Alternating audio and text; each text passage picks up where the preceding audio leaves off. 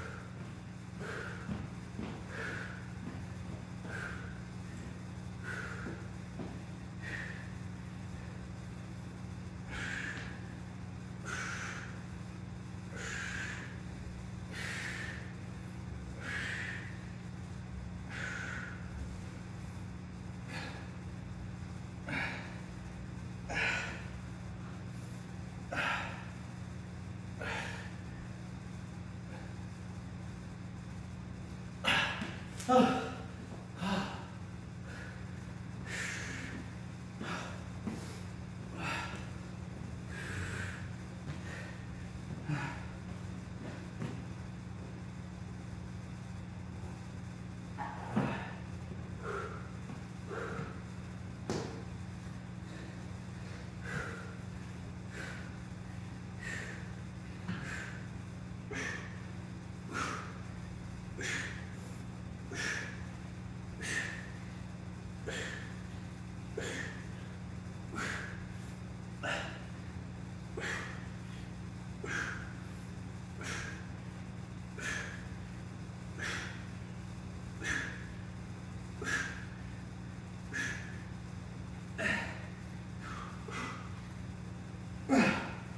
Uh,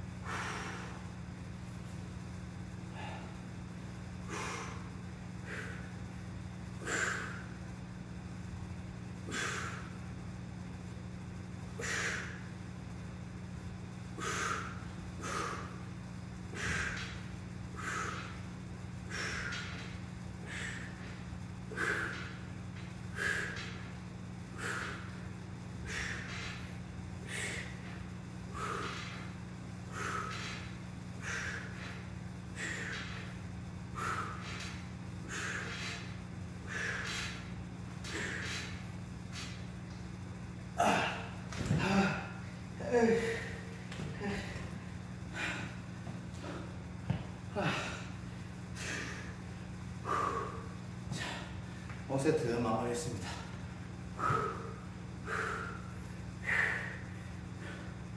야, 하루 푹 쉬고 왔으니 왔는데 더 힘드네요.